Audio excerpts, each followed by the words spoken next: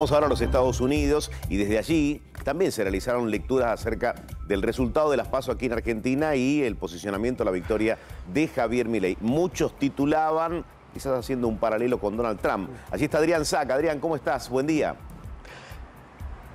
¿Qué tal? Buenos días. Eh, sí, así es. Son tantos los titulares que hay y tantas las aproximaciones para, sobre todo, intentar hacer eh, un perfil de Javier Milei al que se lo está presentando eh, básicamente ante la sociedad de Estados Unidos y quizá la tentación de la mayoría de los medios, empezando por el New York Times, siguiendo por la cadena CNN, CBS, NBC, es compararlo a Javier Milei con una especie de Trump eh, sudamericano además de Bolsonaro, ¿no? A Bolsonaro, eh, a Jair Bolsonaro, al expresidente de Brasil, le decían el Trump del trópico. Acá todavía no le encontraron una descripción, pero sí lo comparan con Donald Trump básicamente por dos cosas. Eh, por su estilo, eh, digamos, de cercano a un cantante de rock, de rock and roll, su look cercano a Elvis Presley, así por lo menos lo describen, y también por venir por afuera de la política. ¿no? Eh, CNN va un poco más allá y también lo compara por el hecho de hacerle bullying a los eh, opositores, o sea, a quienes no son de su partido, tener un estilo agresivo y frontal.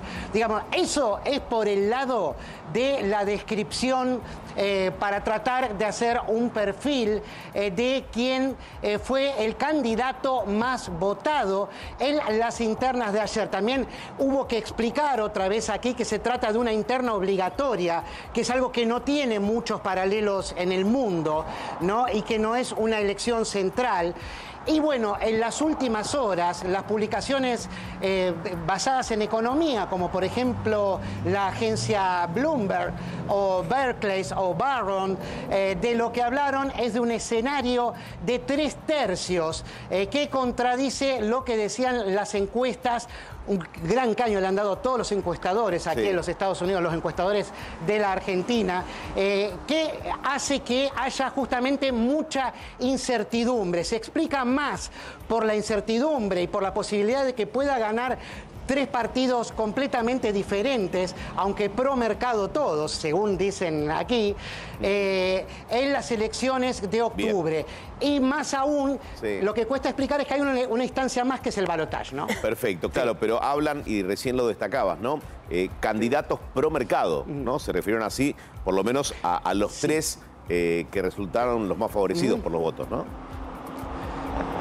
Sí, sí, sí. Eso es un escenario que ya se mantenía desde antes aquí. Por eso había tranquilidad en los mercados hasta el momento de la elección.